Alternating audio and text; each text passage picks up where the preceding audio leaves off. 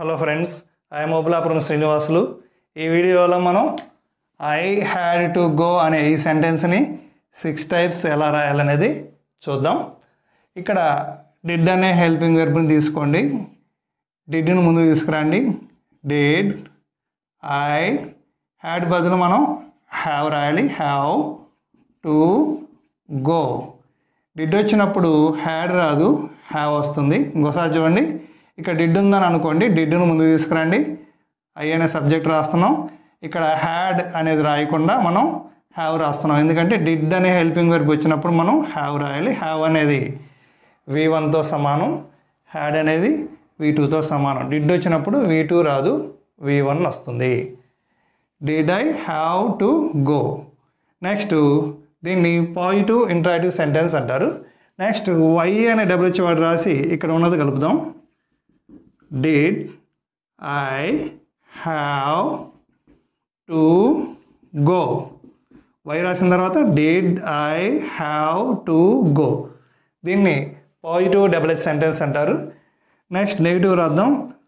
I did not ఉందని అనుకోండి. Not had రాయకుండా మనం ఇక్కడ ఏం రాయాలి? హ్యావ్ డిడ్ వచ్చింది కాబట్టి మనం హ్యావ్ రాయాలి. టు గో ఇంకోసారి చూడండి. ఐ డిడ్ ఉంది కదా? డిడ్ నాట్ ఉందని అనుకోండి. నాట్ హ్యాడ్ బదులు మనం హ్యావ్ టు గో దీన్ని నెగిటివ్ సెంటెన్స్ అంటారు. డిడ్ని ముందు తీసుకురండి.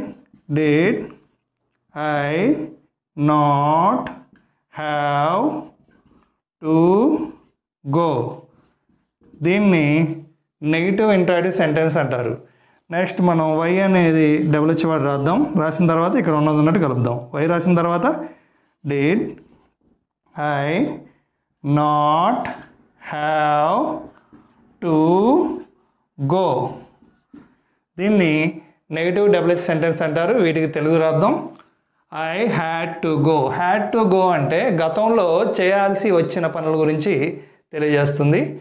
ఐ హ్యాడ్ టు గో అంటే నేను వెళ్ళాల్సి వచ్చింది. వెళ్ళాల్సి వచ్చింది.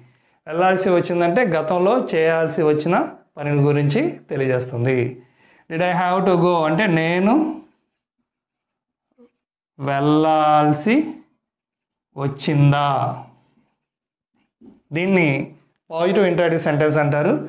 Why did I have to go అంటే నేను ఎందుకు వెళ్ళాల్సి వచ్చింది? దీన్ని పాజిటివ్ డెవలప్ సెంటెన్స్ అంటారు. I did not have to go అంటే నేను వెళ్ళాల్సి రాలేదు. దీన్ని నెగిటివ్ సెంటెన్స్ అంటారు.